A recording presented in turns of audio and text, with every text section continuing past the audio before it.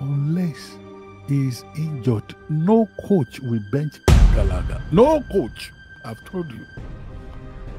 See today what he played. He was in the front. He was in the midfield. He was at the back. He was in the right, left, uh, left flank. He was in the right flank. So what do we need? And that was why the, the, the, the midfield was shocked. We we we, we shocked uh, Manchester City.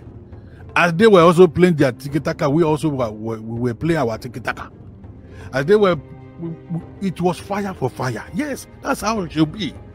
That's what we know Chelsea for. We give our opponent fire. Even if they, our opponent also is on fire. So it's gonna be what? Fire, fire. Fire, fire, fire. I mean, fire, fire, fire. That's how it's going to be. That's it. You give me fire, I give you fire. You give me two fire, I give you what? Double fire. Now so it be. You know, at the beginning of this uh, uh, of this week, I told my people, I said, if Pochettino does not want trouble,